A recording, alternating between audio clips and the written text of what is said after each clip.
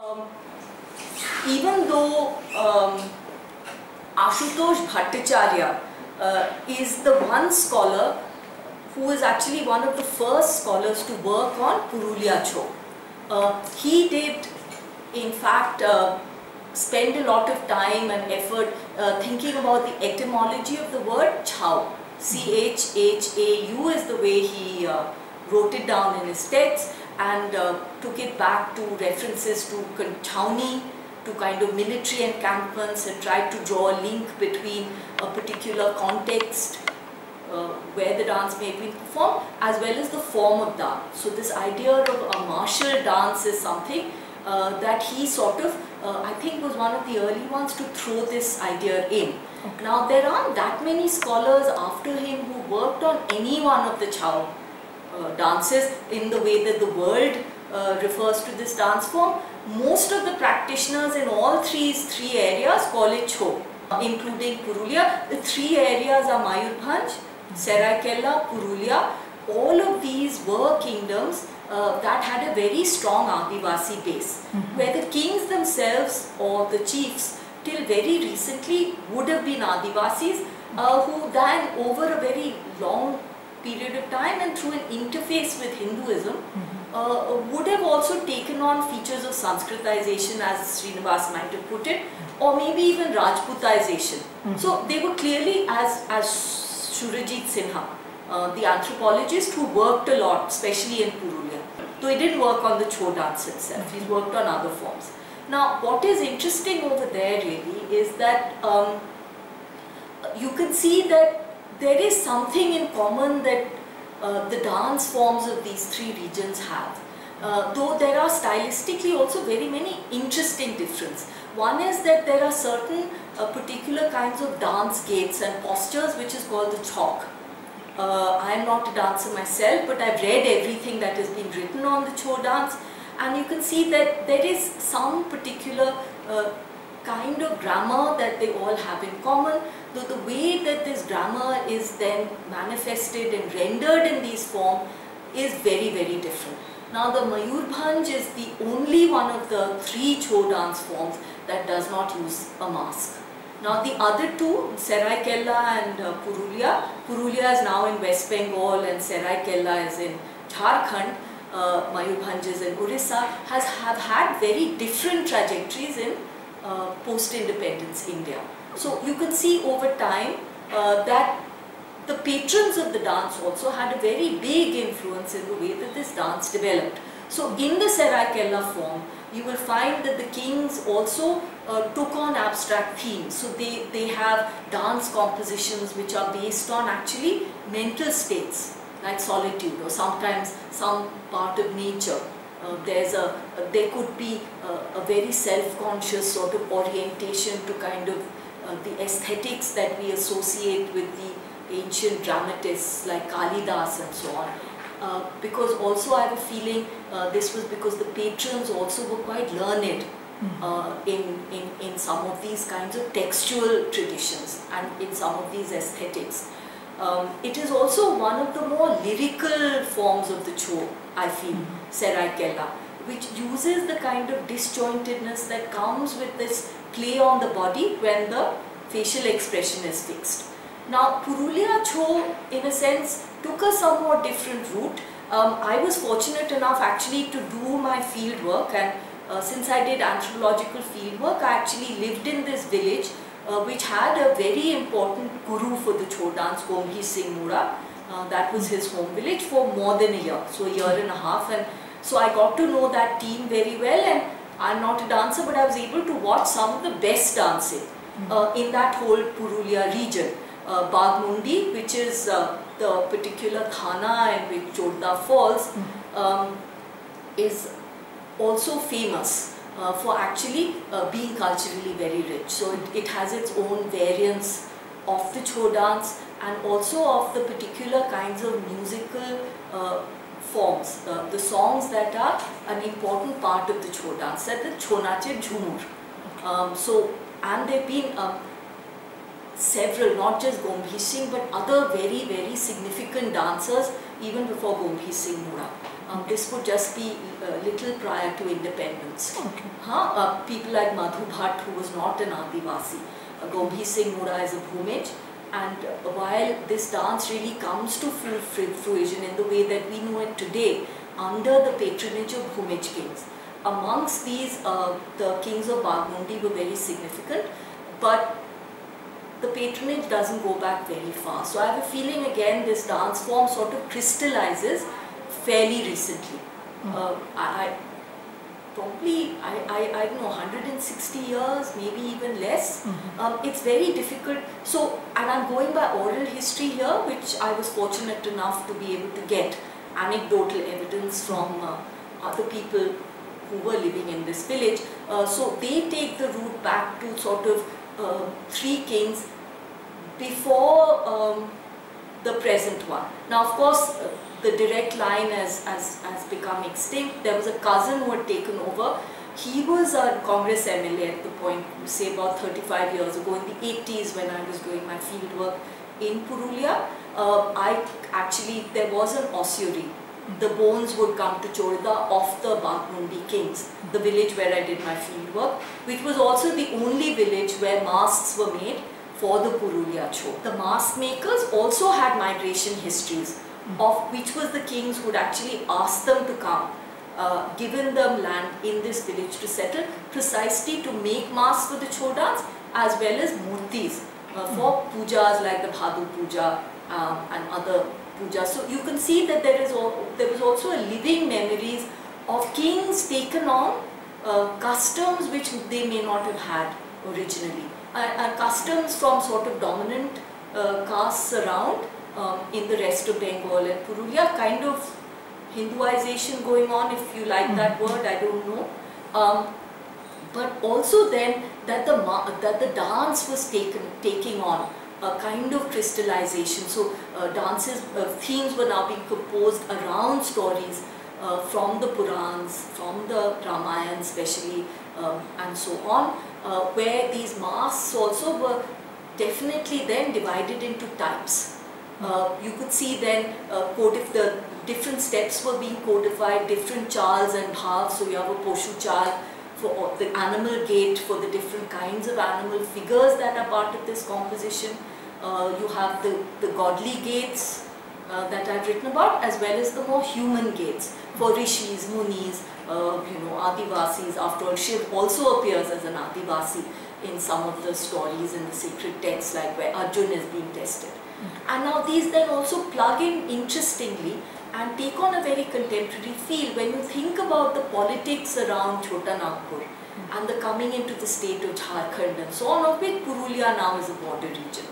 But mm-hmm. after all, they, they are culturally contiguous. So again and again, these are being sort of re-embedded locally in terms of current political and cultural interests. So in that way, the Cho, I would say, are very living forms. So where many of the other dance forms and these areas really were very rich in the forms of music and dance that they had.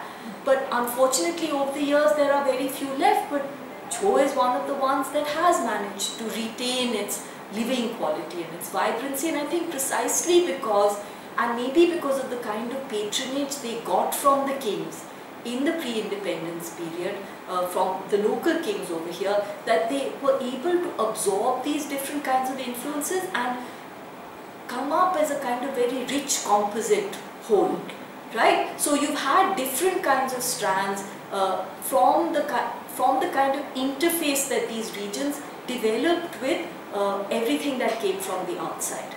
Huh? Influences of sacred texts, uh, other kinds of aesthetics influences because some of these musical forms actually take the form of rags. Uh, they're definitely self-consciously playing with different rases. So you could see that there is an aesthetics uh, which would also link it up with other kinds of dramatic forms in other parts of India. Now, how much of this was self-conscious or did it come along uh, with the kinds of appreciations and the particular dance forms uh, that the patrons as well as the dancers worked with uh, is difficult to say. I would say that it must have happened through a very long process of osmosis. But one thing I should say that uh, I think it's very important to look at the aesthetics of these forms. So rather than just think about these as tribal dance forms, and I know Ashutosh Bhattacharya has had a very uh, large role to play in trying to exoticize them. Mm. Mass dance, you know, definitely the other, non-Hindu, uh, with a veneer of Hinduism. Little difficult to say that about Seraikela, but these were also kings that went through a long process of Rajputization as did other kings in this region. So it's an interesting region because it's so hybrid. But I would say it's important to remember that the kings were highly cultivated, the people are still highly cultivated. So if you go to these places, even now, you will say just the kind of knowledge that the local people have about their own cultural forms is phenomenal and it is not superficial. And no amount of television and film watching or the you know, uh, intervention of other media seems to have affected it. There will be changes that adapt to these other forms, but somewhere along the line, people are pretty much self-conscious about the structural compositions, the grammar of these forms. And it doesn't seem to me that these are dying out. So I think some of it is because also the patrons were, I think, highly cultivated people. So you could see at one time, uh, these were very, very poor because I have actually gone back to look at whatever is left of their palaces, etc. There wasn't a huge gulf. These were not rich zamindaris. These were very poor and in fact, uh, you know, as much prey to things like tuberculosis and leprosy and things, not leprosy but definitely tuberculosis, which is pretty much endemic here as it is in many other parts of India. Uh, and they died out because of poverty amongst other things. But you could see that the kind of cultural sophistication that is still there must have come because of the very highly developed sense of aesthetics that they had, which is why these forms took the particular kind of coloration that they had and continue to be very vibrant now because otherwise I think they would have died out. Once this community participation had died out, they would have died out. So that's a little bit of the history. So I think some of the history can be recovered. I mean, it has been also done for the Seraikela Chho because I think the Rajas were also able to write in Bangla, so they've and, and, in Odia and uh, other languages, uh, so that they actually have written up uh, things mm -hmm. and there has been research. Uh, but unfortunately, Purulia Chho has come up with a lot of, I would say, unfounded myths which tend to exoticize these as Adivasi and tribal. Now, interestingly, what has happened as a result is that this very idea of what it means to be an Adivasi, to be a peasant, has been inflected in the dance as well. So the dance is responding to these modern myths, generated, I have to say, first by folklorists like Ashutosh Bhattacharya, and then later on by journalists, uh, by other scholars, they tend to be a bit unthinking in the way that they use words like Adivasi. What would it mean in a place like Chota Nagpur, hmm. which has seen such a very porous connection, so many different Adivasi groups with such different histories. The Santals self-consciously close themselves off from other mainstream Hindu movements, caste movements, cultural movements, etc. The Bhumij did not. They in fact adopted Kshatriya models. So I have this sort of thesis in, in my, my argument in, in my book called Writing Identities, which also deals with the Chho dance in that book, and I can give you the reference mm -hmm. later on.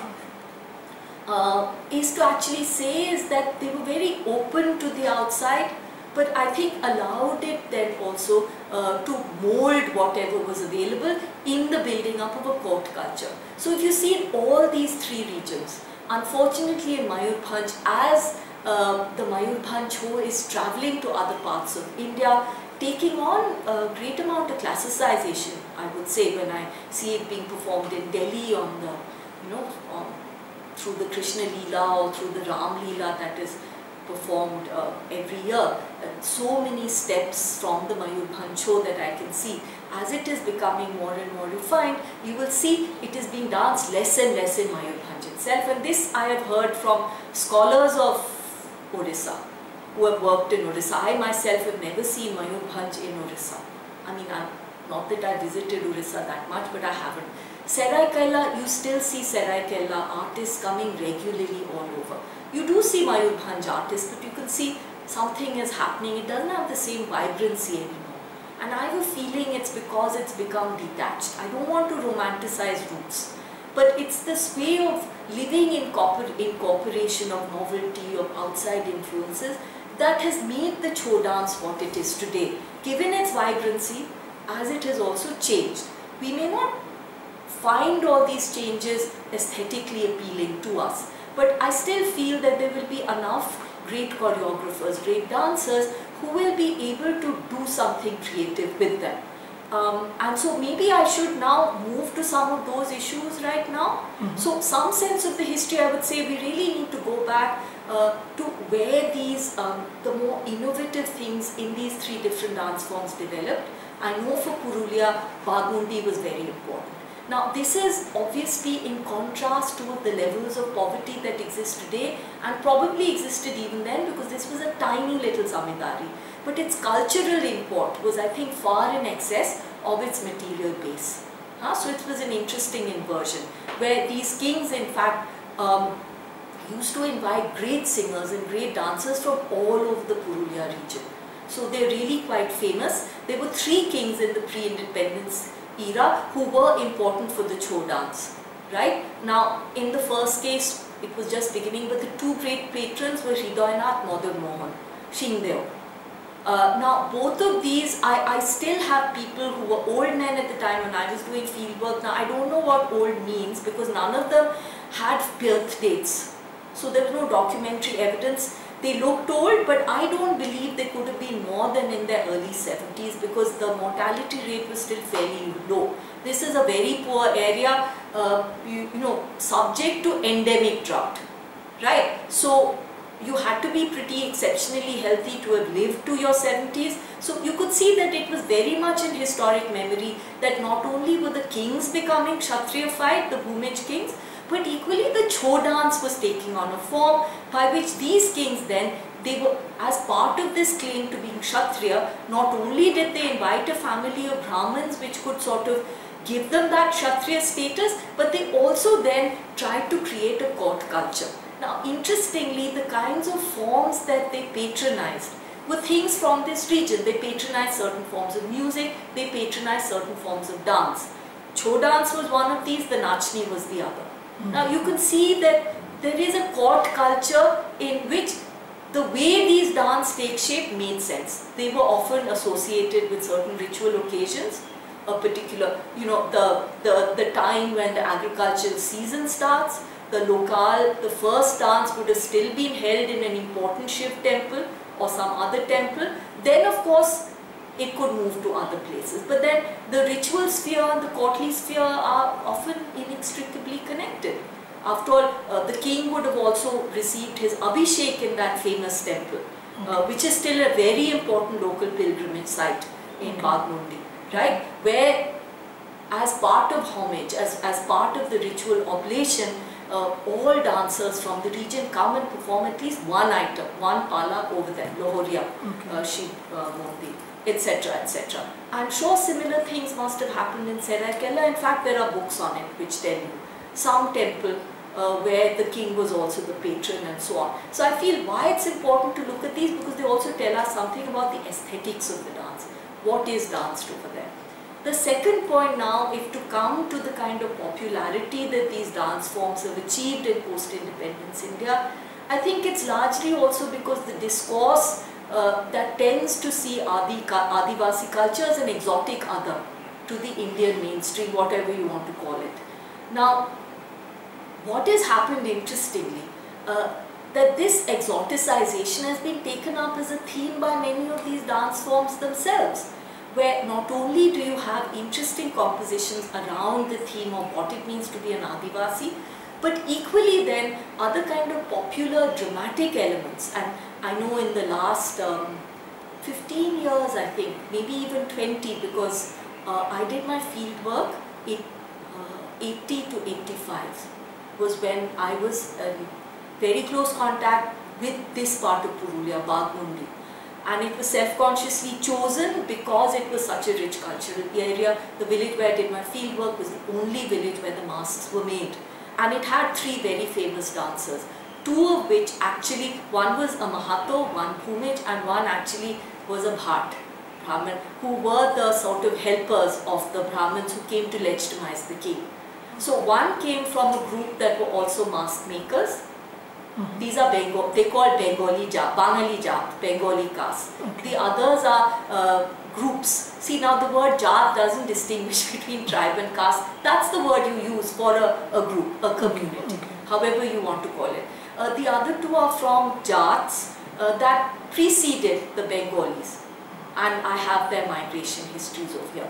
Lal Mahato, very famous also as a composer of the Jhumur song, as well as Gambhir Singh Mura uh, Bhumij, who is the first and who would have been part of the same group to which the kings belong, Bhumij, uh, but also received the first Padma Shri for Purulia Cho. There's one other after him named Pal Mahato. Uh, Not from his village, but he also, Gambhir Singh uh, Mura was his guru as well. Now what happens uh, post-independence is that Gambhir Singh himself was fairly conservative.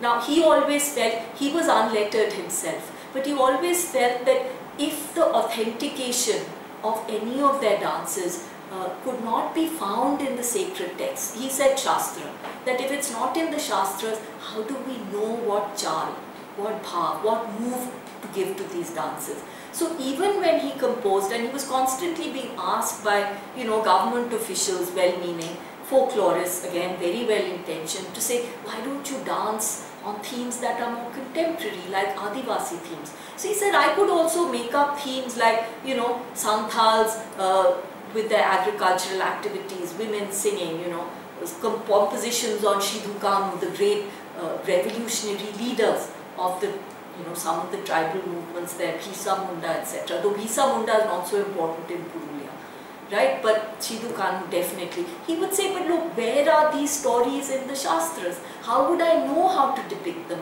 Where would be the authentication? Now, this is very interesting from, for, you know, for someone who is unlettered, who's never read any of these things himself, or who actually has no interactions with people who are learned in these Shastras. But I'll just give you this example. While I was doing field work, one day there was a huge discussion. I was also sitting in one of the murti maker shops where a lot of this gossip takes place and most of our field work is done through gossip anyway. You know that, right, as much as I do. About where this word Harijan comes from. No, the word Adivasi comes from. Adivasi, Adivasi. And of course, you know, I mean, so they consulted the Brahmin who, who is lettered and he knows enough Sanskrit. Said, look, this word was invented by Gandhi ji. Of course, he meant Harijan. Uh, it, you won't find it being mentioned there. So then the whole activity was wrong. is this word a, a translation of something that we can find in the Shastras? Now, you couldn't get more structuralist than this, could you? You think these are recent inventions? So then they sort of deconstructed what does Adivasi mean? First inhabitant. Now, what would be the symbol that you would use to demarcate, identify mm-hmm. the first inhabitant? And then they came to the decision that it would have to be the stone, and the stone comes from the menhirs. Now, in Chorda, the stone menhirs, right, are not vertical, they're horizontal. The ossuary, so the stone actually may not be engraved, but the stones actually demarcate the place where uh, an important set of bones have been interred. Right? Hmm. So people will be telling you that this is where Raja Hridayanath was interred, this is where Raja Madan Mohan was interred. Then you ask what happens after that. After that they become Kshatriyas, they cremated. We don't get their bones anymore. Right? And that is, your bones go back to your ancestral village. So Gambhir Singh Mura's bones would have gone back to where his ancestral village was. His father's village, this was his mother's village. His father died when he was very young. He was also a famous dancer, Jipa Singh Mura, in the Bagmundi court but never grew up in that court. Okay, so when so then they decided that stones would be the symbol of the Adivasi. Now then they came back to going back to some of the Purans and there was one Puran only available in the village so they consulted that and you know the Purans always begin with stories about the way the world comes to be, the cosmos comes to be and the way the significant groups come to be that go up to make up the world as we know it and the cosmos as we know it including the world of the gods, right? So then they came to the story of Surabhi guy who's been sort of stolen by the Kshatriya king Jamadagni And of course, she's asked to defend herself by her protector, her rishi, right? And then, of course, she stamps her feet uh, four times, and these four different autochthonous warrior emerge. Now, he says that look, all of us must have emerged from these. Mm -hmm. And he says there's reference to one caste group called Pashan. And he says uh, one group was called this, one group, I've forgotten now, and one group was called Pashan. Now, Pashan means stone mm -hmm. in Sanskrit. So, obviously, then that must be where we emerge from. So, they composed their origin of the Adivasi story really was a playing out of this myth. So interestingly, even so, the word Adivasi then was translated into something that could be then made meaningful within the universe of the Shastras and then composed. Of course, there are other groups and interestingly in the last 15-20 years, you find is that with the boom of uh, new media and especially with the CD, with the video revolution and now with the computer revolution, you find that this kind of um, cinematic technology is quite cheap. So you'll find people at fairly low costs can actually buy video kind of uh, documentation material to make them very cheap video clips on um, you know music videos but equally dance videos on the Chho dance in Purulia. Mm. And you find this happening all over India but what you find that it has also led to very interesting changes in the dance form. Mm -hmm. I think already say about 20 years ago, just before this video boomed, mm -hmm.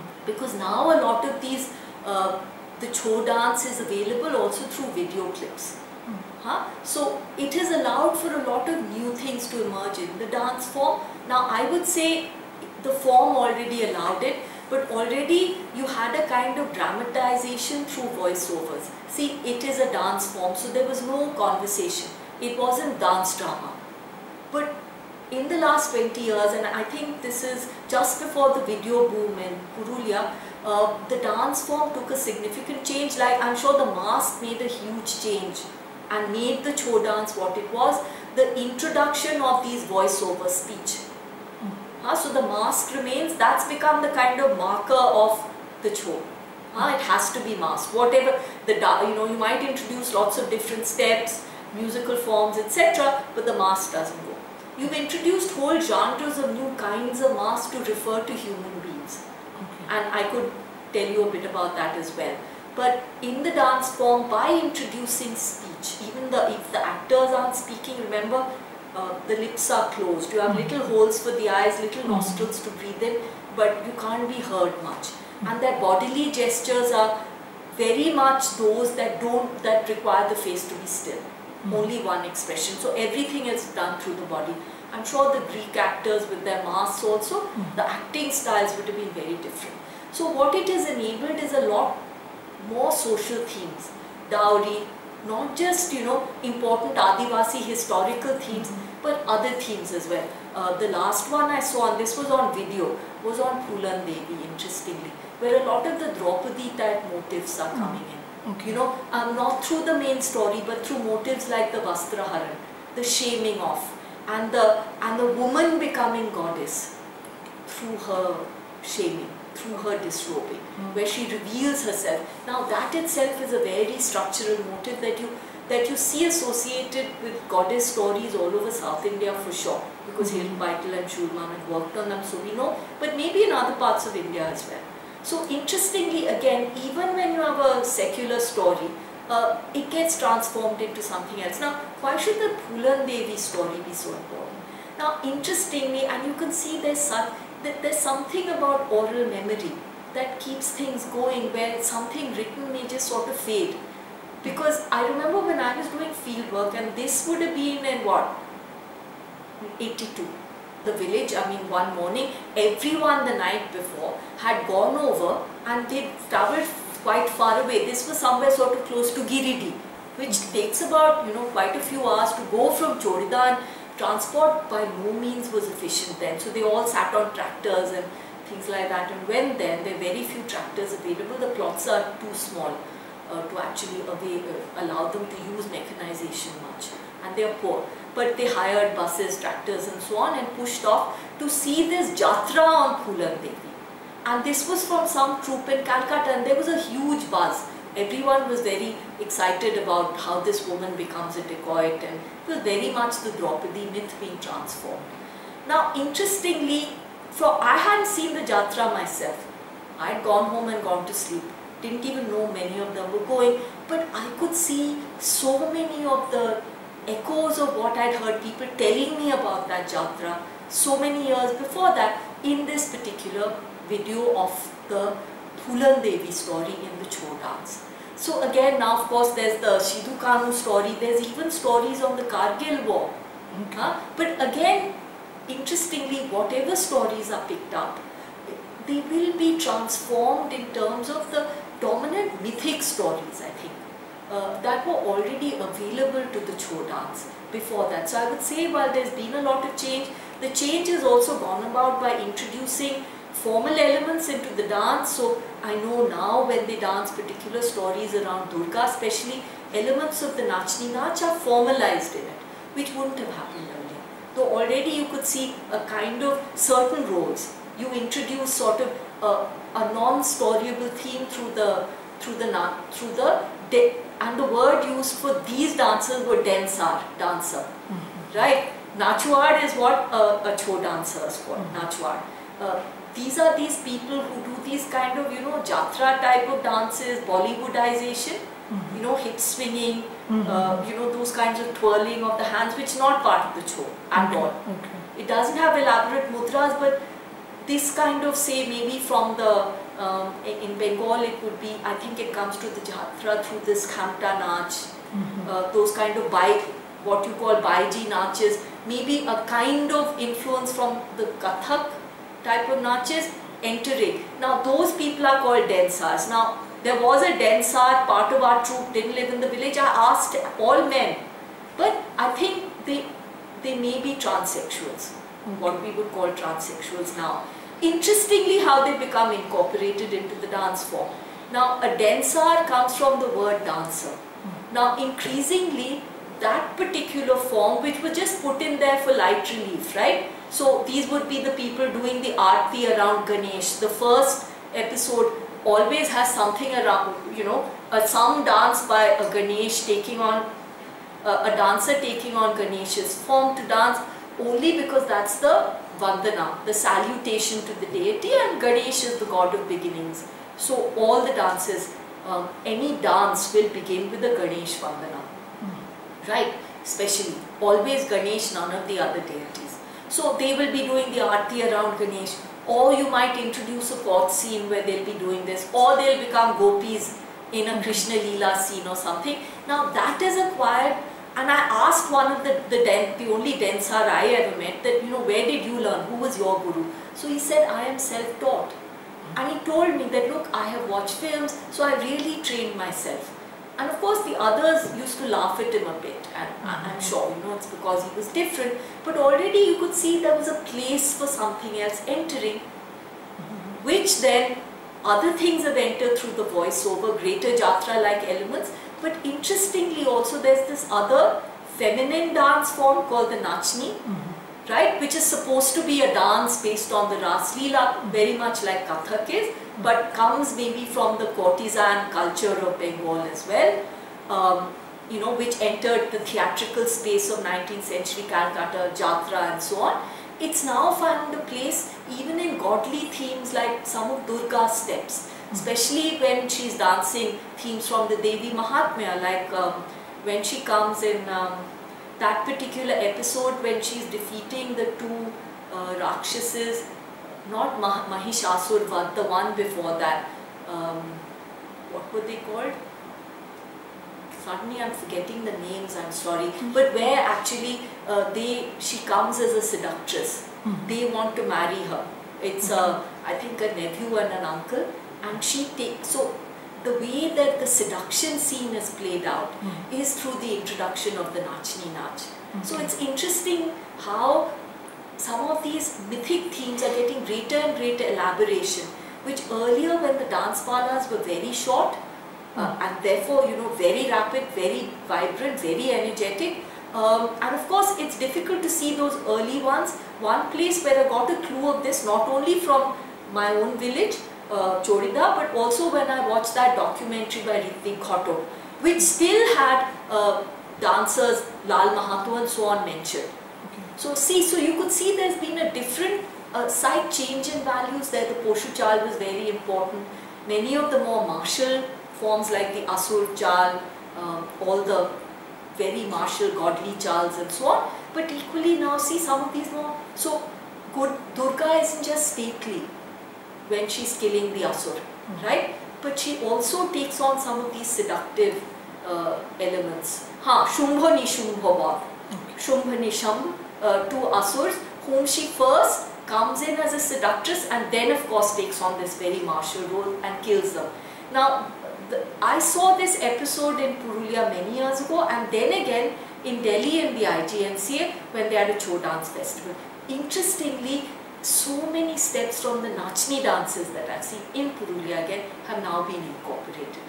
Right? Hmm. Now to become part of the general code now of the Chhau dance. So I can see its vibrancy also comes from the fact that it can take all these different influences. Like it can take so many musical incorporations. I remember already when I was there, Raghupati Raghav Raja Ram was a very important theme tune. Hmm. Not sung but played by the instruments. So they introduced new instruments like the cornet. Huh? Now they even have a keyboard and stuff which you didn't. Now, how does this all square with the dhamsha, the kettle drum, deep sound, or with the dhol, with all of these things? Interestingly, uh, it's through the stories. So it's, I think the musical changes go with the introduction of some of these other aspects of the stories. So in some ways, I think there is a pretty much a very self-conscious knowledge about what can fit. So it's not just a random uh, introduction of novelty for novelty's sake. There is a sort of way in which this aesthetics also enable this incorporation at certain places. If you introduce the flute, and I'm not saying the flute isn't an instrument already available here, uh, it will be when you're doing things with the primordial hunter themes, including Krishna, could be an Adivasi hunter, or when you introduce the horn, it will be in certain things. Now, when I asked, but look, okay, but this is clearly outside, where did it come from? No, no, we used to have the, it was called the Shinkha, it was always there. Now, this was a horn clearly, you know, and I even know there was some French musician who had, uh, you know, who liked their dance form very much. When they went to Paris, they were gifted this. So I, I jolly well know that it wasn't the Shinga, but so you can see there's a way in which even newness can be incorporated into the grammar over here and stories may follow, right? Uh, so there's a way in which this continuity and change with such a cliched kind of, uh, you know, utterance, when you think about it, but if you think about what it could mean, there's a way in which you can give it a Chhau coloration, but make it something new. So now with this, I think already there were this voiceover introduced only with certain kinds of stories. Shidhu Kanu as well as the social themes of dowry deaths and you know women's um, exploitation and stuff like that where the voiceover gets introduced. Now that has been given further elaboration when you now make the Chhau for the video right? Where you can obviously, because you can take it to other scenarios, you don't just need one usher, one place, so you can show it against different backdrops. It has allowed some kind of change. Now, I don't think it's influenced the steps that much anymore, but it certainly brought in many more different kinds of musical backgrounds, I noticed. So, what I tried to do is, I got a whole collection of video clips on the dances that I had already seen and these were pretty much traditional dances as well as the new ones. In the new ones you can see there's a further greater sub-specialization in the different kinds of acoustical effects like you'll have a special voiceover only about bringing in demonic laughter to show the Pakistani soldiers. They are after all the Asurs in that. So you know it allows a greater elaboration of music. Some of it seems to be more successfully adapted to the form, others I feel will die out. They, they, they jarred a bit. But in other ways, you can see there's a greater elaboration of the masks. Already when I was doing field work, and I can see that even more, um, you would show a certain, you know, there either the faces would be divided into three types. the asurs, the demonic masks, snarling faces, where you have the teeth being shown either as fangs but as one solid white mask. Mm. The gods never have mouths open, they always smile.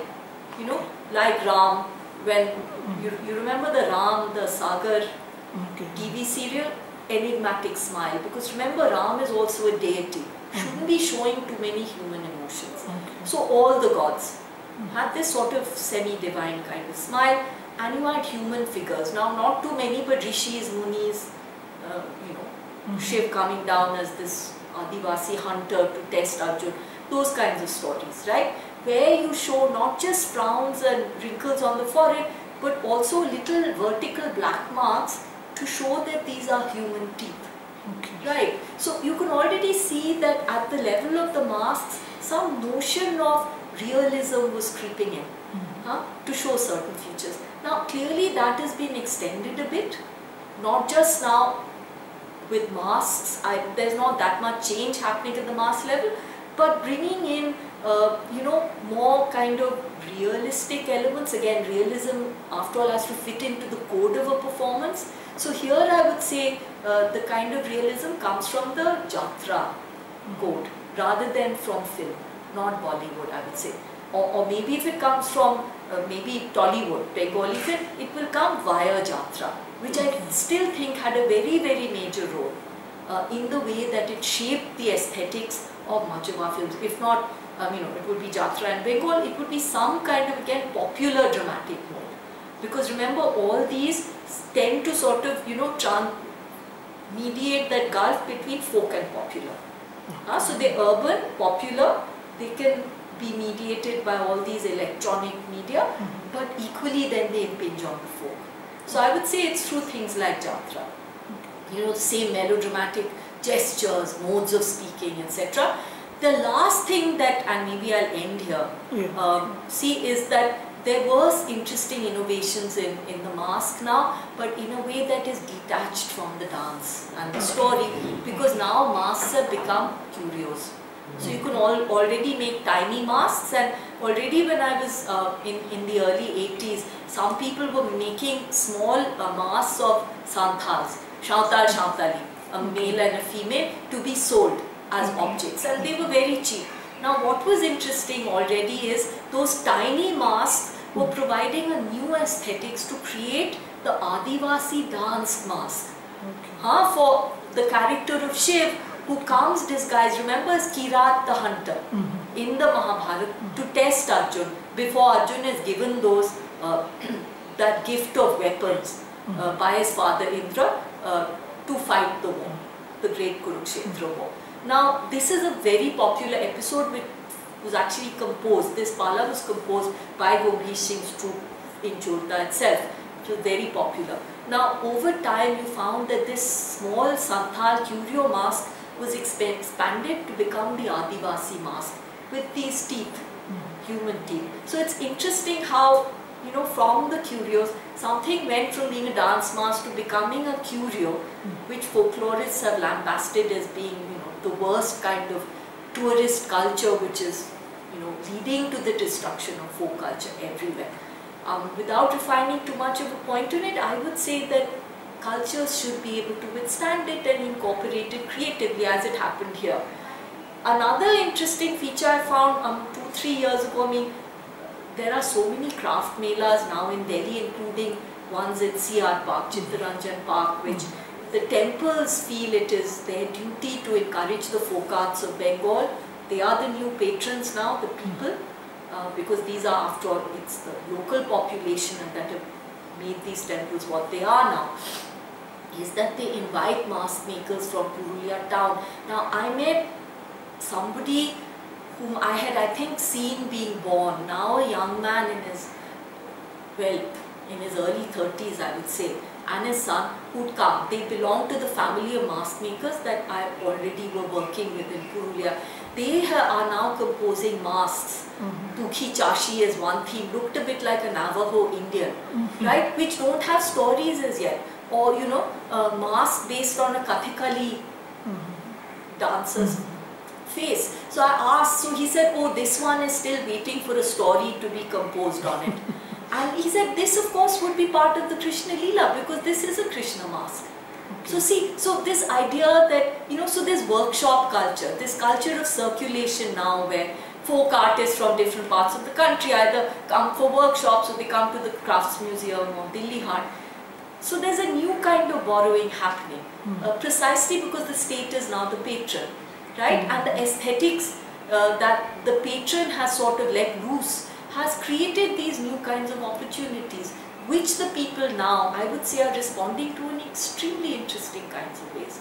So I would say, I mean, I'm really waiting to see what happens next with the Chhau dance. It is by no means being destroyed, not in Purulia, definitely not. I mean, and its latest avatar is, is, is Adi's in the form of these video clips, which are really, really popular. Uh, not just in Purulia itself, but I would say uh, even in neighboring districts. My first encounter with such CDs was in Mednipur, which is where I'm still I'm doing field work right now. Mm-hmm. Interestingly, they are very famous for their um, scroll paintings, but very few people, you know, outside the cosmopolitan cities like Delhi and so on have even seen one of those scrolls. Certainly not people in Mednipur.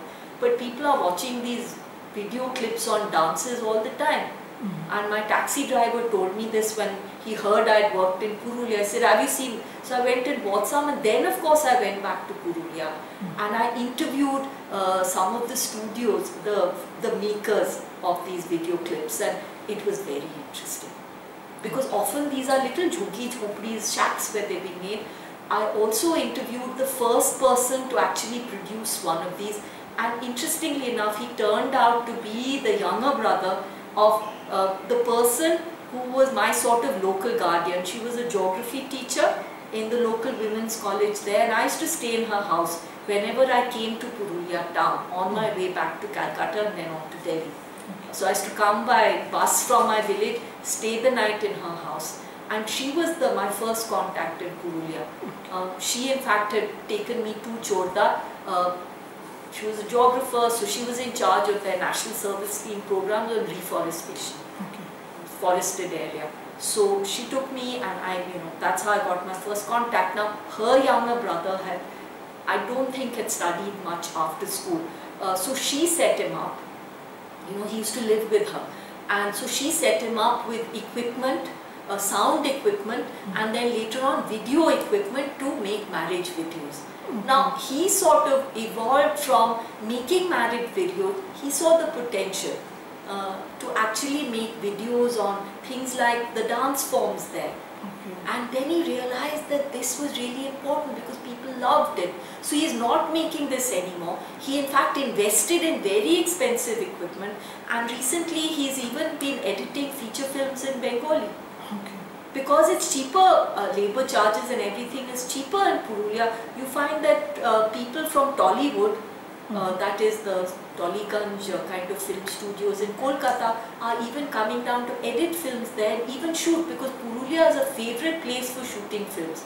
Initially by Bengali filmmakers, uh, Satyajit Ray, Ritwik Ghatak, they've all shot there, but now even international filmmakers. Okay. So see, so he's still making video films and I met one or two others who are on a smaller scale. So mm. it's as if I can see something evolving over the last 30, 40 years, from the time in my 20s when I was a researcher to now.